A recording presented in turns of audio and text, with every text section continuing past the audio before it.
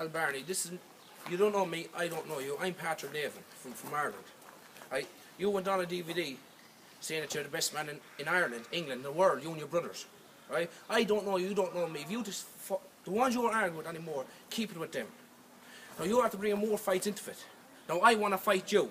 And the waste time going into the ring with your shadow boxing and doing pads and, and sparring old, old harmless fellas. That, that's not scaring me. That's not scaring anyone. When you go in front of a man and, and see can you do what you're doing into the ring with pads and that, and, and you're, you're saying you and your brothers are the best in the world, I don't think you are. I never rated you, Barney. For the, the first place, I never rated you at all. Uh, and you never had a right fight. You're a bit like an ass up and go, uh, uh, down in mud.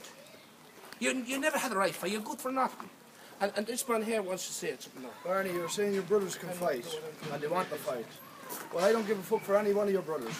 Uh, if one of them wants to fight me, tell him I'll fight any one of them the same day him and you fights. That's all I have to say. If you one of your brothers wants to fight me, good and well, I'd fight the same day as you and Patrick fights. I'm Michael Nevin, Michael Nevin's son Michael. I'd fight any one of ye. And another thing, Cut for a second. Ready?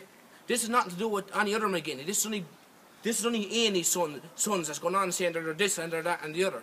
They're fools, is what they are. And all I have to say is, I'm not. I want this to go on DVD, no YouTube. I'm out in law, so it's not going on YouTube. There is other fights for your brothers Barney in Longford. Not mentioning names. You send the signs, you get them. That's all I'm saying.